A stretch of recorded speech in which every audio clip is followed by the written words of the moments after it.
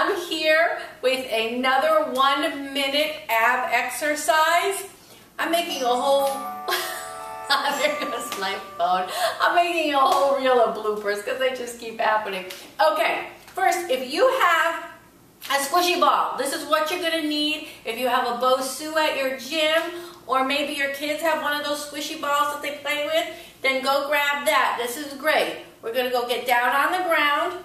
And the reason we're using the ball is because it's uh, you, you can extend, you'll see, and really stretch your abs. So we're gonna put it underneath our lower back. We're gonna put those hands behind our head. Our feet are planted on the floor. I'm kind of on my heels. Look at this extension that I get. I'm really extending those abs and I'm crunching up. It's a small movement. I can feel it right here. I can feel those ab muscles engaging. Okay, so I want you to do 20 of these.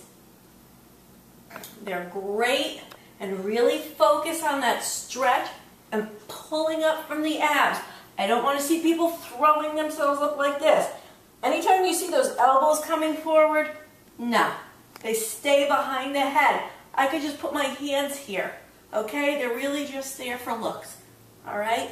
That's the correct way to really get that nice extension and the contraction on the abs.